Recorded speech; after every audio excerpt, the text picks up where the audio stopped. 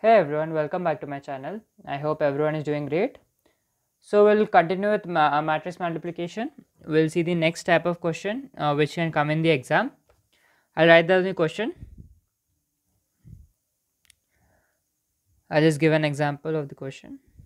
Uh, it will be easier to teach.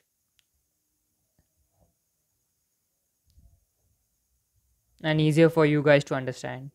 Right. 0, 2, three one one five. Let's give this yeah. Okay so first what you have to see in this. First you have to find the order. Order of the matrix which is in the form of m into n right? So the answer for this matrix will also be in the form order of the m into n right? The order m into n. So first let's find it out this is a 2 cross 2 matrix 2 rows 2 columns right? And for this this has how many columns? 3 columns 1 2 3 and 2 rows. So 2 into 3 matrix so the answer will be in the form of 2 into 3 matrix right? So it'll be like 2 into 3 it will be in the form of 2 into 3 right? So first rows into columns. Right.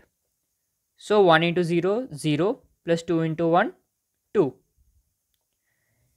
same way again. 1 into 2 2 plus 2 into 1 4 right. Then 1 into 3 3 plus 5 into 2 10 so 13 right. Over here again. This into this. Then this into this you should add it. That's all. So 3 into 0 is 0 plus 4 into 1 is 4 right. Then again 3 into 2 is 6 plus 4 into 1 is a 4 so the answer will be 10 right. So again 3 into 3 into 3 is 9 plus 4 into 5 is 20 right? So 29 simple we got the answer.